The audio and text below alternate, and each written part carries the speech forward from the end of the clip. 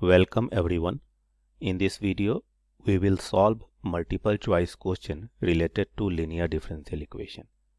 In case if you are new to the channel, you should subscribe it because here you will get maths related content which will help you in throughout your BTech program. So let's start.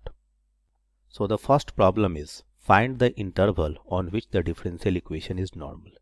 So how to solve this kind of question and this kind of questions are very important usually asked in the exam.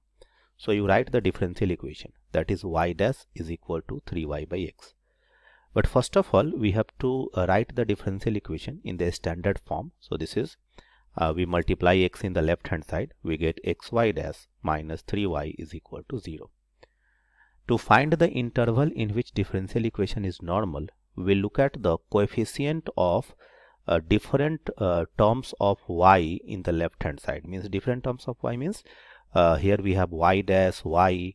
So there are just two terms of y y dash and y. So what is the coefficient of y dash? Uh, that is usually known as a naught x means the coefficient of the highest order term. So a naught x here is equal to x. Uh, what is a1x that is the coefficient of the next uh, derivative of y but here just one derivative of y is there. So the next coefficient will be the coefficient of y. So a1x is equal to minus 3 and rx the right hand side is equal to 0 see one more thing. In case if you want to learn these concepts in detail you should watch the video that I already have uploaded uh, related to linear differential equation. So uh, we have got three coefficient here. A naught x that is x that is minus 3 and then 0 now first thing that we have to check that where these uh, you know uh, uh, coefficients are continuous. So these coefficients that is x minus 3 and 0 are everywhere continuous. Why it is everywhere continuous? Because uh, polynomial functions let me write because polynomial polynomials and constant function constant functions are everywhere continuous. Everywhere continuous. Right. So there is no point at which these functions are not continuous. So uh, there is no such problem. Next thing means it is continuous in the whole interval that is minus infinity to infinity. Next thing that we have to look at that uh, we have to find the point at which a naught x becomes 0 so we are going to find that point where a naught x is equal to 0 so this implies uh, that x is equal to 0 now we have to exclude this point. Or rather if you want to see it like this that we are going to find all those points at which a naught x is equal to 0 and uh, here uh, since a naught x is x so if x is equal to 0 I need to exclude those points from this uh, interval.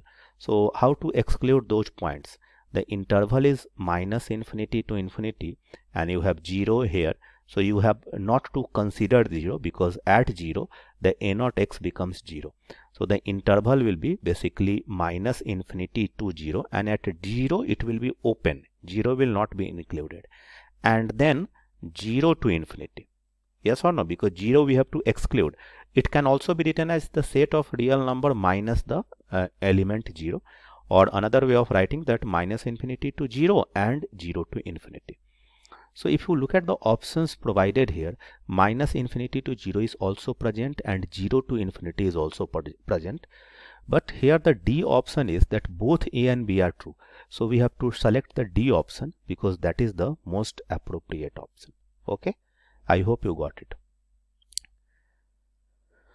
Next question. And here this question is similar to the one we have just discussed so we will be spending less time on this. Here what is the coefficient of highest order term? That is uh, y double dash is a naught x is equal to 1 plus x square. Then a1x is equal to 2x and then a2x that is the coefficient of y is equal to 1 and what is the right hand side? Right hand side rx is equal to 0 now this is a polynomial function, this is a polynomial function, this is a constant function, this is a constant function. And we just have seen in the previous problem that, that polynomial functions are everywhere continuous and constant function is also everywhere continuous. So all these functions are continuous in the whole real line set like minus infinity to infinity. Another thing that we have to uh, see that where this 1 plus x square will become 0. So 1 plus x square uh, is never equal to 0 is not equal to 0 because x square is always positive. You, if you take any x uh, then x square we know for any real value of uh, uh, real value x x square is always greater than or equal to 0 right? If x is equal to 0 then it will be equal to 0 in all other cases it will be greater than or uh, uh, you know 0 so what is x square plus 1 x square plus 1 will be greater than or equal to 1 so this can never be 0 so we don't have to exclude any point. It means what? That the differential equation will be normal in the whole interval minus infinity to infinity. So the correct option is this. Okay. Easy question. Now these questions are very very easy and I hope that you must have to answer this kind of questions in the exam because it should not take much effort to solve this. So find the general solution of the differential equation y double dash minus y is equal to 0. So to solve this kind of the differential equation, first thing that you have to write is the auxiliary equation. And the auxiliary equation is for y double dash we write m square and then we don't have any other derivative of y for uh, y the coefficient is minus 1 so we write m square minus 1 is equal to 0 so if I solve it, I will get two roots that is m is um, um, m minus 1 into m plus 1 is equal to 0. So m is equal to 1 and minus 1. So these two are real roots and distinct roots as well. So when we get two uh, real and distinct roots, we write the solution as the constant into e to the power m1x. So 1x plus another constant that is b and e to the power m2x that is minus 1x. So basically we get what a e to the power x plus b e to the power minus x that is equal to y. So this is the solution. See if you don't know how to solve it uh, I have explained it in you know uh, solving this question but if you want to learn about this in detail then uh, watch that video which I already have highlighted. Now this kind of question is also very important. The function these are linearly independent on. So what is the concept here? We know the concept that to check the linear dependence or independence of the function, we calculate the Wronskian value. And there are two possibilities. The Wronskian value may be 0 or the Wronskian value may not be equal to 0. So if the Wronskian value is equal to 0 in an interval, then uh, the function is linearly linearly dependent in that interval right? Dependent. And if it is not equal to 0 then in that interval the functions are linearly independent. Now you might be thinking that how to calculate the Wronskian so to calculate the Wronskian the idea is that since we have three functions here 1 sin x and cos x this will be a 3 cross 3 order determinant. So i will write uh, in the first row i will write these three functions that is 1 sin x and cos x. As the second row uh, what we have to do we have to differentiate the functions in the first row. So if i differentiate 1 i will get 0 if i differentiate sin x i will get cos x if i differentiate cos x i will get minus sin x. And in the third row I need to uh, differentiate the second row again. Or uh, we can also say it like that we have to differentiate the first row twice. So we already have differentiated the first row once and we have got this row. Now uh, for this we if we differentiate derivative of 0 is equal to 0 derivative of cos x is equal to minus sin x and it is minus derivative of sin x is cos x so if we expand the determinant along the first column, the other two elements are 0. So I will just get 1 into cos x into minus cos x. So that is minus cos square x and minus minus plus sin square x. So I have to write minus sin square x. So this is basically what? This is minus cos square x plus sin square x. So that is equal to minus 1. And uh, if you look at this value, it's minus 1 can never be 0 right so this will be linearly independent in the whole uh, you know largest possible interval in which this is linearly independent is minus infinity to infinity because if it is not equal to 0 and it is not dependent on any value of x this is a constant so it can never be 0 so it means that the function is linearly independent in the interval minus infinity to infinity. So the correct option is c. Let us solve this question quickly. And to solve this uh, i'm not going to uh, you know uh, wait. I'm just going to explain it.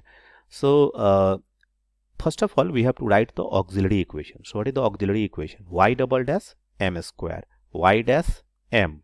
And then y so the constant term minus x is equal to 0 we have to factorize this. So m square plus 3m minus 2m and minus 6 is equal to 0 so what we do? We take m common we get m plus 3 minus 2 common m plus 3 is equal to 0 so this will give me this will give me what? m plus 3 into m minus 2 is equal to 0. So the roots of the auxiliary equation are minus 3 and 2. So what will be the general solution? A constant time e to the power m1x that is minus 3x plus b e to the power m2x that is 2x. So which option will be correct? Minus 3x and 2x right? So this option will be correct. I hope uh, other options are like different. It is minus 2x here it is x e to the power minus 2x and here it is both plus. So the C option is correct, right? Let us move to the next question. And this is also uh, similar, but it has a slightly different idea. Uh, if I have to solve this differential equation, the auxiliary equation will be for y double dash m square, for y dash 2m, and for y the constant term is 1, so is equal to 1, so 0. Now what is special about this that for this auxiliary equation the roots that I will be getting will be equal roots like we are getting two values of m that is minus 1 and minus 1 and both are same. See one mistake usually people make that when they write the root they write m is equal to minus 1. No since it is a quadratic equation it is a polynomial of degree 3 so it must have two roots or you can also see it like this that in any differential equation of order 2 its auxiliary equation will always have two roots that is minus 1 and minus 1 so when the roots are repeated how do you write the solution? You write the solution as a plus bx and e to the power minus x. I hope you understand it. Uh, the idea is that suppose you have two roots m1 is equal to m2 is equal to m right? Suppose the two roots are equal uh, and its value is m then we, in that case we write the solution as c1 plus c2x e to the power mx. If we have three roots like m1 is equal to m2 is equal to m3 and all of them is equal to m then we write the solution as y is equal to c1 plus c2x plus c2x square e to the power mx. So here uh, what will be the correct option? a plus bx e to the power x not correct a plus bx e to the power minus x. So this option is correct. Okay. Now let us move to the next question. And this is an interesting question here.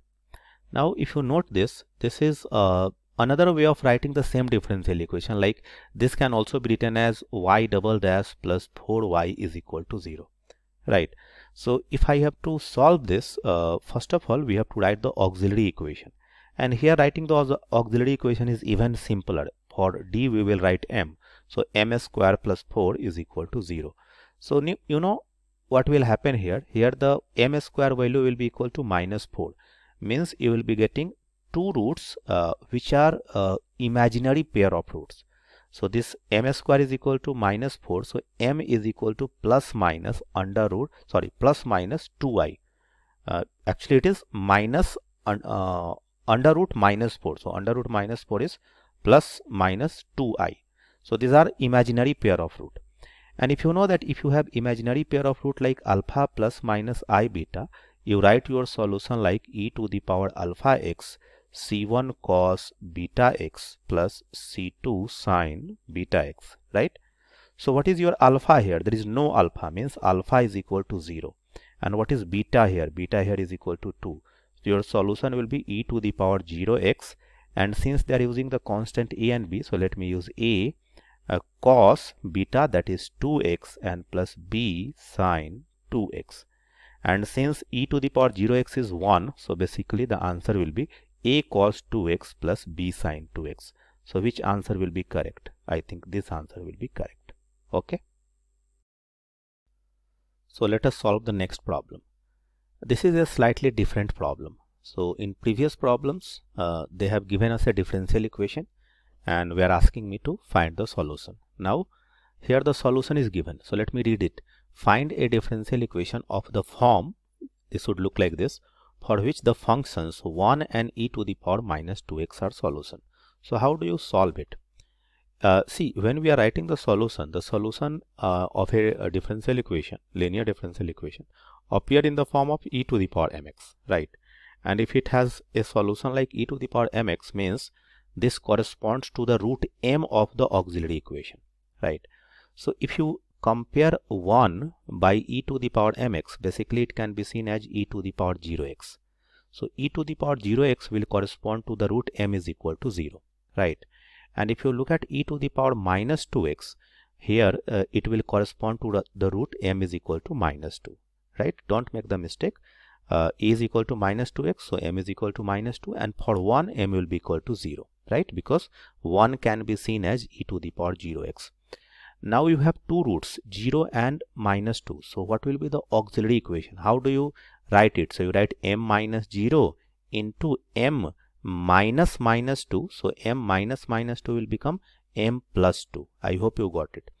And that is equal to 0. So if this is the auxiliary equation, it will look like m square plus 2m is equal to 0. So now you have to uh, think in the reverse uh, direction. If m square is there means m square comes for what? m square comes for y double dash. And uh, if m is there then it comes for what? Then this comes for y dash. So y double dash plus 2y dash is equal to 0 so which option will be correct?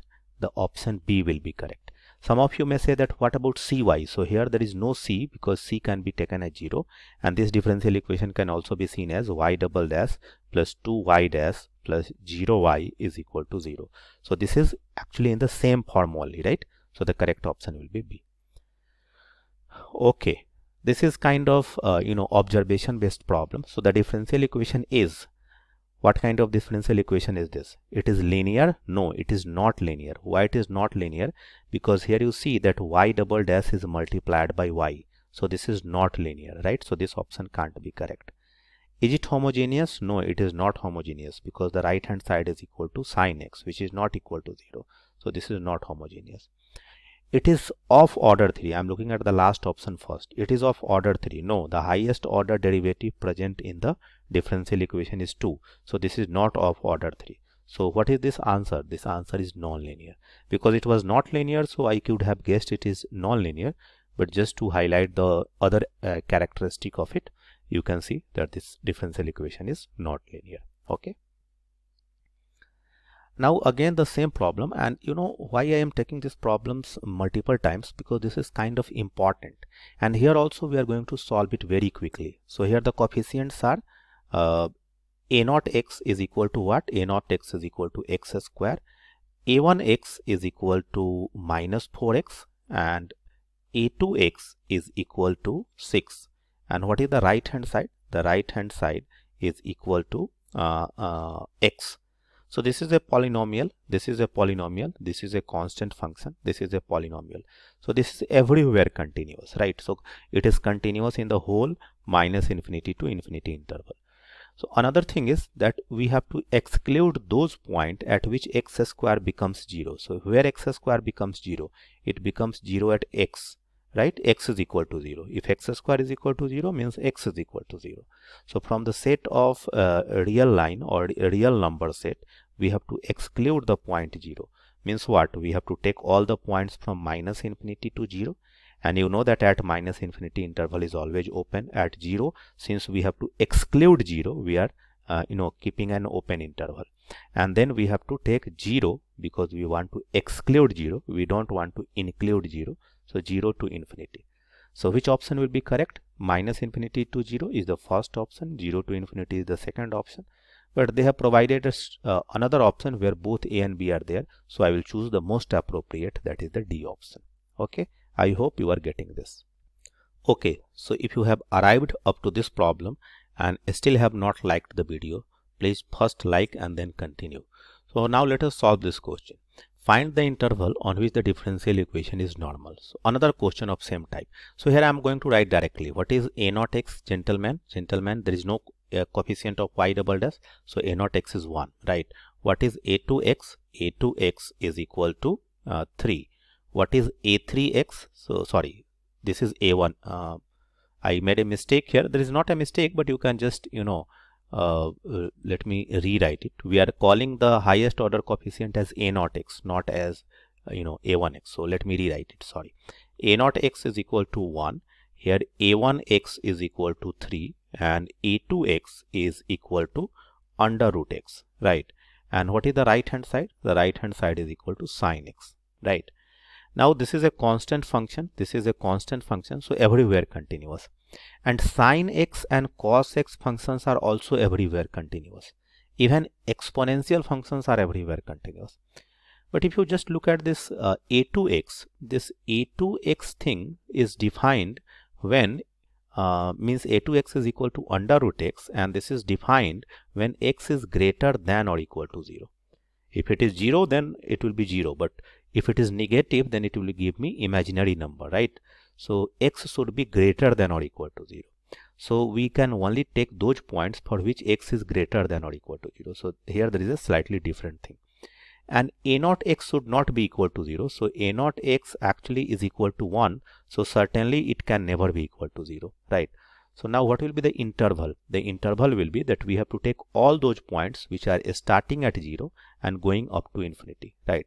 So the correct answer will be uh, 0 to infinity because here we are not taking any points which are less than 0 means we are taking all those points which are in the right of 0 so this side. So 0 to infinity will be the correct answer here. Okay?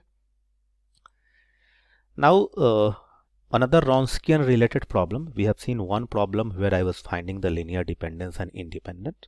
But here they are just asking you to find the value of the Wronskian so how do you calculate Wronskian in case if you have already understood pause the video solve it yourself but uh, I am continuing. So here the first row you write the functions that is x, x square and x cube.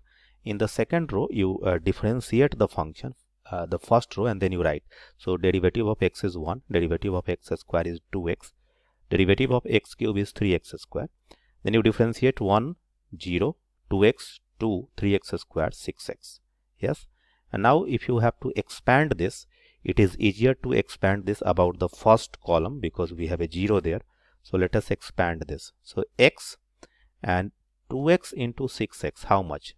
12x square minus 2 into 3x square 6x square then minus 1 and this row will be left out this column will be left out so x square into 6x so that will be giving me 6x cube and 2 into uh, x cube right so minus 2x cube so what did I get? I, I got uh, 12x square minus 6x square. So 6x square into x. So that will give me 6x cube and minus 6x cube and minus 2x cube that is 4x cube. So 6x cube minus 4x cube is 2x cube. So what is the value of the Wronskian? The value of the Wronskian is 2x cube, right? I hope you got it the Wronskian of the function. I think we did a similar problem like the Wronskian of the function if I have to calculate W. I don't want to spend much time here. Uh, 1 first row 1 sin x cos x second row 0 derivative of sin x uh, is cos x derivative of cos x is minus sin x again 0 derivative of cos x is minus sin x and minus sin x is cos x uh, so with a negative sign of course so cos x into minus cos x that is minus cos square x and minus this this minus and minus will become plus so this will be minus sine square x. So this will be like equal to minus 1 so the correct answer is a. I think we did a similar problem kind of repetition slightly different way of putting it. Another question. Uh, so you see in this uh, kind of topic uh, especially if you are solving mth uh, 174 problems in unit number 2 you have to solve the questions where you have to find the interval differential equations are normal Wronskian and solving homogeneous linear differential equation with constant coefficient. so this is an easy example and this is an easy unit for you I think. So you should focus on this. So find the solution of the differential equation. So how to find the solution? Uh, we have to write the auxiliary equation first. So for y double dash m square for y dash minus m and then the constant term is equal to minus 6 so I will write equal to 0 and then I will factorize it. So m squared minus m I will write minus 2 uh, sorry minus 3m and then plus 2m minus 6 is equal to 0 I hope you know how to factorize it. So m common m minus 3 plus 2 common m minus 3 is equal to 0 so we are getting what? We are getting m minus 3 into m plus 2 equal to 0 so the roots will be now 3 and minus 2. So the solution will be a e to the power 3x plus b e to the power minus 2x. So which option will be correct? This will not be correct. This will not be correct because we have x here. a e to the power 3x, b e to the power minus 2x. So this option will be correct. I hope up to this there is no challenge. This is a slightly interesting problem because uh, here students may make lot of mistakes the first thing that you need to observe here that this is a differential equation of order 4 basically the differential equation is d square plus 4 square y is equal to 0 so this is nothing but d to the power 4 plus 8d square plus 16 y is equal to 0 yes? But since they already have given us in a very nice way this is just to explain to you but suppose we have to solve it. So what will be the auxiliary equation? The auxiliary equation in this case will be m square plus 4 square is equal to 0. When we have the differential equation in this form, uh, it is easier to write. We just replace the d by m. So m square plus 4 square is equal to 0. And you know what students will do here? They will make a mistake. They will consider the roots as m is equal to plus minus 2i right? And then they will ignore the other roots. I hope you understand that they actually there are two factors of ms square plus 4 so this is basically ms square plus 4 into ms square plus 4 is equal to 0 so one factor ms square plus 4 will give you one pair of imaginary root that is plus minus 2i and another factor will give you another pair of imaginary root that is plus minus 2i and when you have two pair of imaginary roots suppose uh, just let me explain it separately. Like if you have suppose roots like alpha plus minus i beta and again alpha plus minus i beta right? Then in that case you write your solution like uh, c1 plus c2x right? And uh, before that you multiply it by e to the power alpha x. Let me rewrite here. Just so how do you write the solution? You write y is equal to e to the power alpha x and then c1 plus c2x cos beta x and plus c3 plus c4x sine beta x. This is how you write the solution when you get two pair of imaginary roots which are same.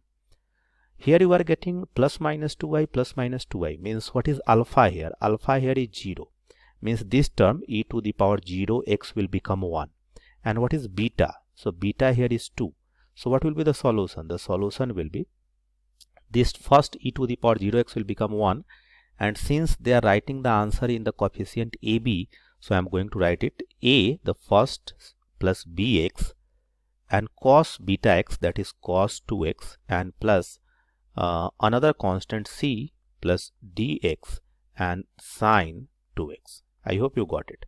So the correct option here will be C. This question uh, should be seen carefully uh, because suppose I quickly you know take uh, a similar question and suppose I ask you that solve the differential equation d to the power 4 cube y is equal to 0. So you know what will happen? You will have three pair of imaginary root that is 1 plus minus 2y, another plus minus 2y and third pair of imaginary root plus minus 2i and in that case what will you write the solution? I am writing here in the top.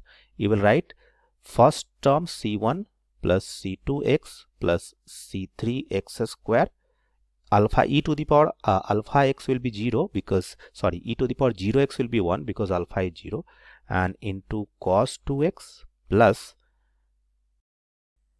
so first part is c1 plus c2x plus c3x square cos 2x and uh, c4 plus c5x plus c6x square sine 2x. So this is how you write the solution when you have three pair of imaginary roots. And since you are smart, I hope you might already have guessed that if we have four pair of imaginary root or five pair of imaginary root, we will proceed like the same way. Okay. Now let us solve this problem quickly. Find the solution of this differential equation.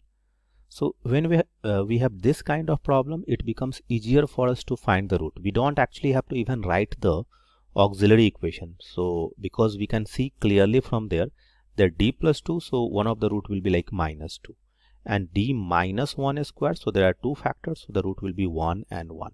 See the mistake usually that you make is that you write minus 2 and 1. You don't include the next one.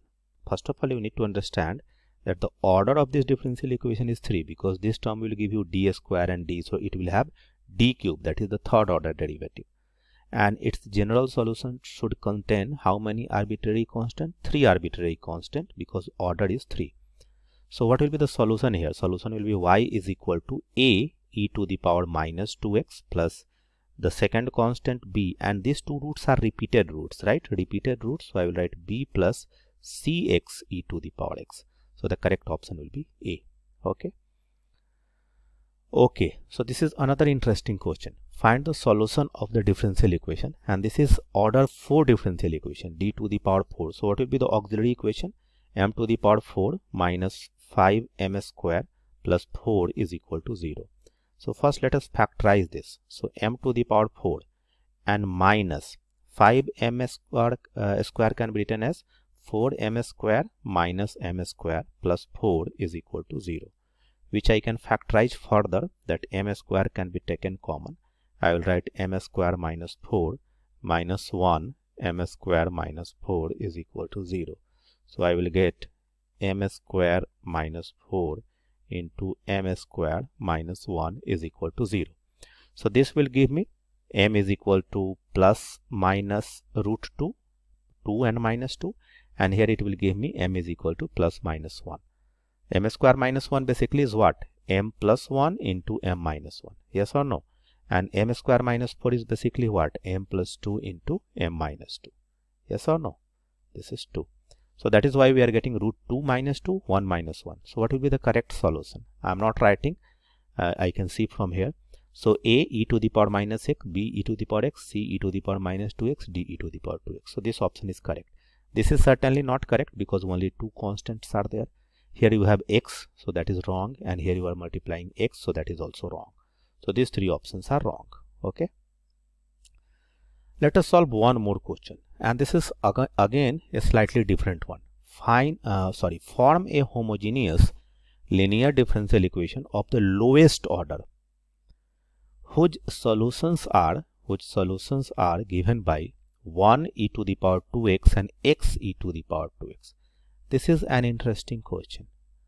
Ladies and gentlemen, because they have given us three solutions and they are asking uh, us to write the lowest order differential equation, it means that the order of the differential equation should be 3.